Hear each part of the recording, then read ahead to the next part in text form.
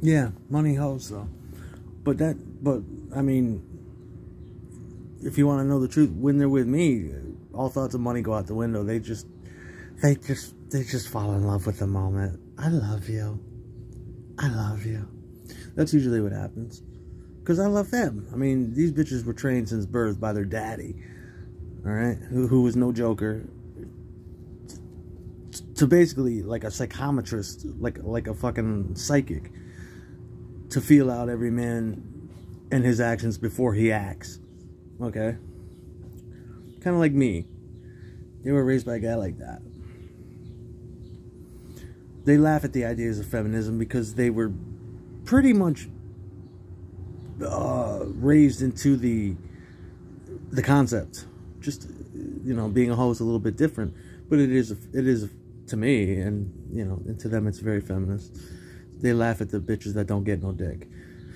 Um, but when they're with me, you know, it's fun. I don't know if I could fully explain that, but they uh, they find the money that I have is adequate, and they, you know, that's that's the point. Is sometimes we're a bad influence on each other because we, we we can just say fuck a day's work and just go off and go do something we like.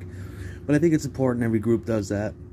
You know, if it was my band or something, I would I would do it the same way. I'd be like, well, what do you want to do? Did you want to have fun today? Uh, maybe we'll just sit here and watch the game, and we won't practice or something. You know what I mean? We'll do something that we like to do, other than music or fucking or whatever. No, I wouldn't ever say that they were greedy. They are very, at least the bitches I, I've I've been known to to to handle and work with are are, are pleased bitches, surprise bitches, always happy for the little things. You get them a little fucking soda on a hot day, they're fucking happy about that. They definitely take stock of the little things. Yep. They see big shit, but it doesn't really impress them. Like, oh, I dealt with that a thousand times. It's just a big baby, man. I'm like, yeah, kind of. So they know. I don't have any problem. I'd never expressed any. Did I? Discontent at being able to handle them or not? No. I always thought that they were hard to handle, but manageable. And that's what I did.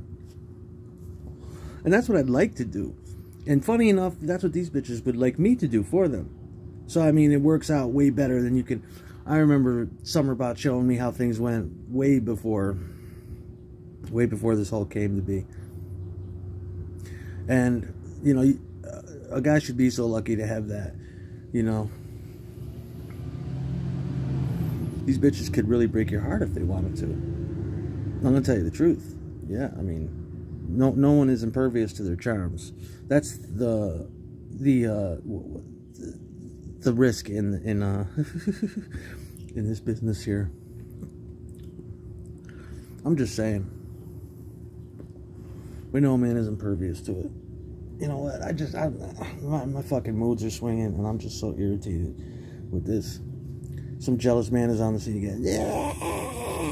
It's like, dude, you just don't have the juice. You weren't born into it. You don't have the brains for it.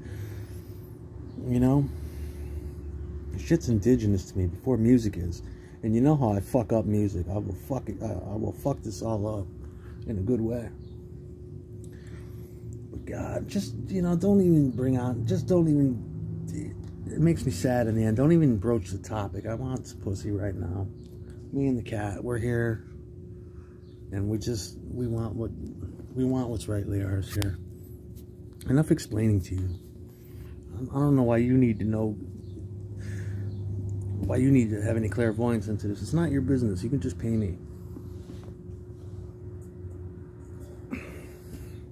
And I got no uh, no challenges, man. I want I, I need some young bitches to be like, we need this, daddy.